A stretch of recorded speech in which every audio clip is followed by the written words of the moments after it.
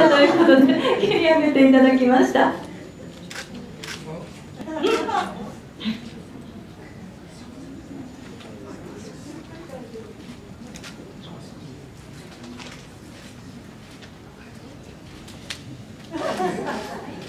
はい、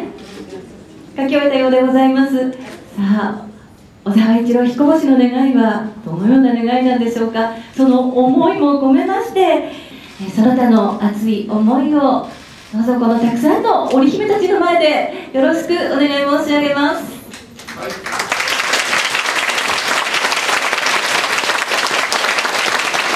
えー、皆さんこんにちは。こんにちは。えー、今日はあー七夕様で、えー、何かとあ皆さんもあいろんなあ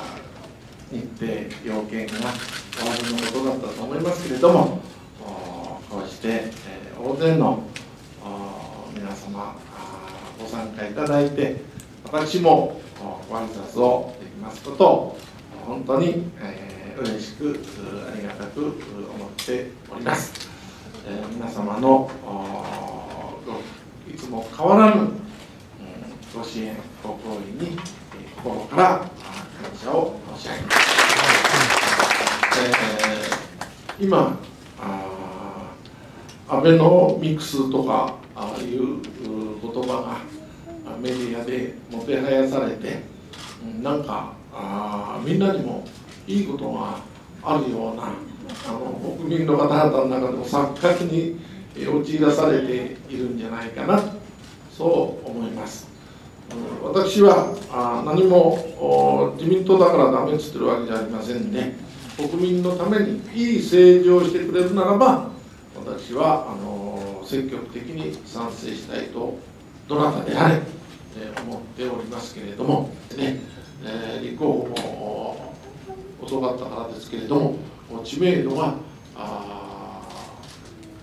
低いものですからその意味で、えー皆さんにご迷惑をおかけしますけれども何としてもここで、えー関野県候補を当選させていただいてそして今言ったような強権的なあ強い者の側に立った政治を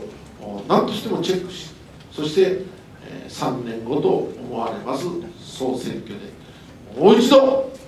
政権交代して国民皆様のサイドに立った政権を今度こそね、え私も自由の身になりましたからね。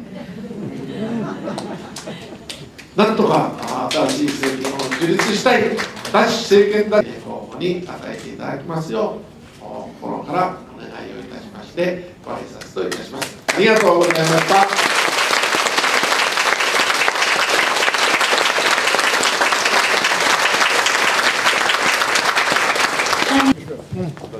お疲れ様です。